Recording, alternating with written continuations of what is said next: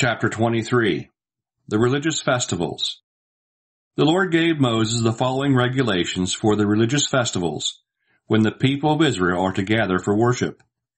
You have six days in which to do your work, but remember that the seventh day, the Sabbath, is a day of rest. On that day do not work, but gather for worship. The Sabbath belongs to the Lord. No matter where you live, proclaim the following festivals at the appointed times. Passover and unleavened bread. The Passover, celebrated to honor the Lord, begins at sunset on the fourteenth day of the first month. On the fifteenth day, the festival of unleavened bread begins, and for seven days you must not eat any bread made with yeast. On the first of these days you shall gather for worship, and do none of your daily work. Offer your food offerings to the Lord for seven days. On the seventh day you shall again gather for worship, but you shall do none of your daily work. When you come into the land that the Lord is giving you, and you harvest your grain, take the first sheaf to the priest. He shall present it as a special offering to the Lord, so that you may be accepted. The priest shall present it the day after the Sabbath. On the day you present the offering of grain, also sacrifice as a burnt offering a one-year-old male lamb that has no defects. With it you shall present four pounds of flour mixed with olive oil as a food offering. The odor of this offering is pleasing to the Lord. You shall also present it with an offering of one quart of wine. Do not eat any of the new grain, whether raw, roasted, or baked into bread, until you have brought this offering to God.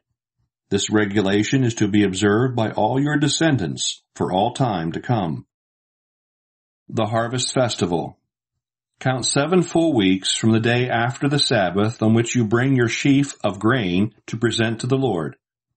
On the fiftieth day, the day after the seventh Sabbath, present to the Lord another new offering of grain. Each family is to bring two loaves of bread and present them to the Lord as a special gift. Each loaf shall be made of four pounds of flour, baked with yeast, and shall be presented to the Lord as an offering of the first grain to be harvested. And with the bread, the community is to present seven one-year-old lambs, one bull, and two rams, none of which may have any defects. They shall be offered as a burnt offering to the Lord, along with a grain offering and a wine offering. The odor of this offering is pleasing to the Lord. Also offer one male goat as a sin offering and two one-year-old male lambs as a fellowship offering. The priest shall present the bread with the two lambs as a special gift to the Lord for the priests. These offerings are holy. On that day, do none of your daily work, but gather for worship. Your descendants are to observe this regulation for all time to come, no matter where they live. When you harvest your fields, do not cut the grain at the edges of the fields, and do not go back to cut the heads of grain that were left. Leave them for poor people and foreigners. The Lord is your God. The New Year Festival.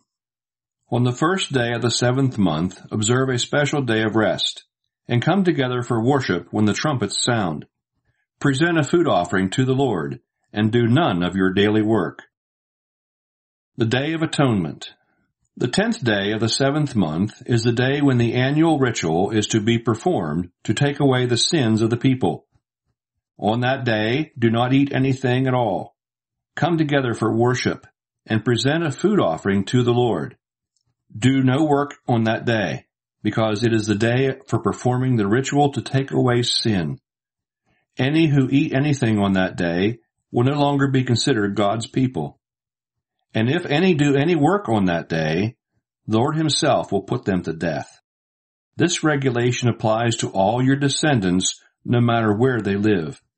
From sunset on the ninth day of the month to sunset on the tenth, observe this day as a special day of rest, during which nothing may be eaten. The Festival of Shelters The Festival of Shelters begins on the fifteenth day of the seventh month and continues for seven days. On the first of these days, come together for worship and do none of your daily work. Each day for seven days you shall present a food offering. On the eighth day come together again for worship and present a food offering. It is a day for worship and you shall do no work. These are the religious festivals on which you honor the Lord by gathering together for worship and presenting food offerings, burnt offerings, grain offerings, sacrifices, and wine offerings, as required day by day. These festivals are in addition to the regular Sabbaths, and these offerings are in addition to your regular gifts, your offerings as fulfillment of vows, and your free will offerings that you give to the Lord. When you have harvested your fields, celebrate this festival for seven days, beginning on the fifteenth day of the seventh month. The first day shall be a special day of rest. On that day take some of the best fruit from your trees. Take palm branches and limbs from leafy trees, and begin a religious festival to honor the Lord your God. Celebrate it for seven days. This regulation is to be kept by your descendants for all time to come. All the people of Israel shall live in shelters for seven days so that your descendants may know that the Lord made the people of Israel live in simple shelters when he led them out of Egypt. He is the Lord your God. So in this way Moses gave the people of Israel the regulations for observing the religious festivals to honor the Lord.